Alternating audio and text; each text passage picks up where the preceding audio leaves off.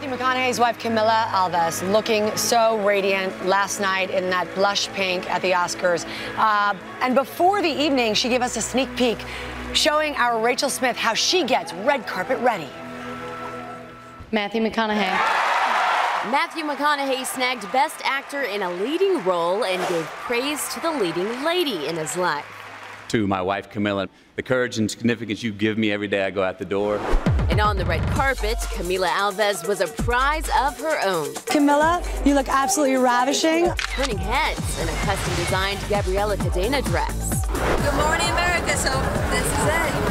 As soon as Matthew got the nomination, that's when we started working on the dress.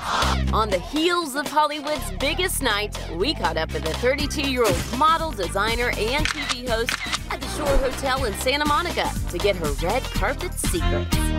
For about two weeks, I've been doing, you know, a detox drink in the morning. I'm being very watching my diet, watch what I'm eating. You know, I want to be ah. able to fit in a dress.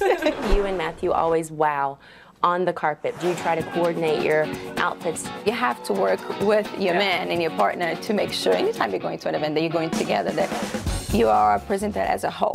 This year, her dress was a different look from that 2011 stunner.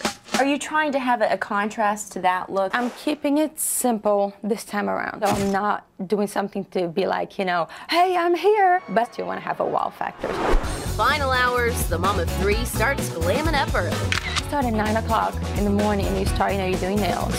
So you do the whole nail process and then you start, you know, either hair and then you go with makeup and everybody, and then everybody starts to kind of team up.